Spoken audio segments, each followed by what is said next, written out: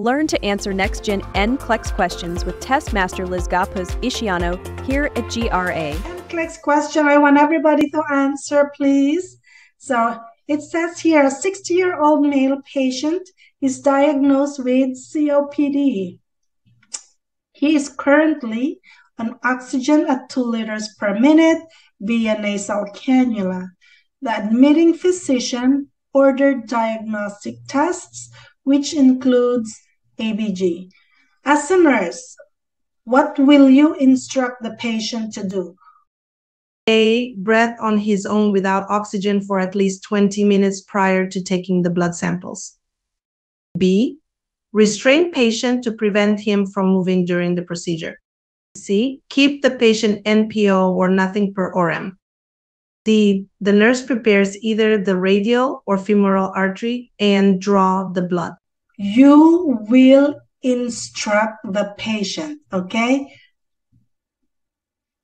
Look at the question. The nurse will instruct the patient to do what? Let's analyze the answers, okay? I know some of you answered A, some of you answered D. So here's the breakdown.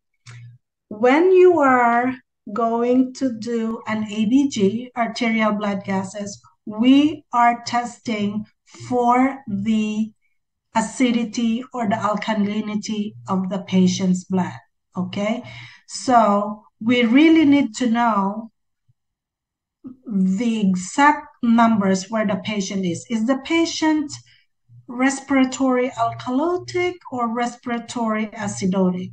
Okay, so the only way to do this is to let the patient breathe on his own without the oxygen for at least 20 minutes prior to taking the blood sample.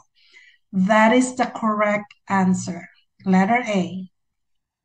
Because we want the exact number in here, we have to be very, very, what do you call this? Um, definitive with the numbers.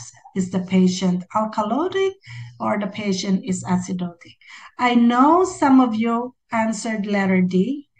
Here's the trick on that. Remember when I said, look at the question. The question is asking you, as a nurse, you will instruct the patient to, okay?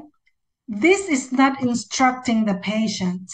This letter A, you are instructing the patient to breathe on his own. This one, letter D, first of all, you are not instructing the patient to do anything. All right. And second of all, okay, the most commonly used artery is radial artery. Okay. Femoral artery and antecubital artery are the least favorable sites to draw an ABG. All right. So if you will prepare the patient, you will prepare the radial first, right? And we are going to do the Allen test or the modified Allen test. All right. So you will instruct the patient to breathe on his own without the oxygen for at least 20 minutes prior to taking the blood sample because we have to know if the patient is acidotic or not on his own, not with the help of oxygen, right? So we are going to stop the two liters for 20 minutes, all right?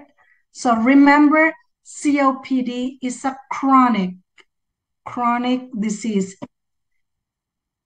It's acquired over a long period of time. So making the patient uh, without the oxygen for 20 minutes, it's not detrimental. They're used to having low oxygenation for a long, long, long period of time. All right. So that's what we're going to do. Letter A. Follow us for more of this and learn with confidence only at GRA.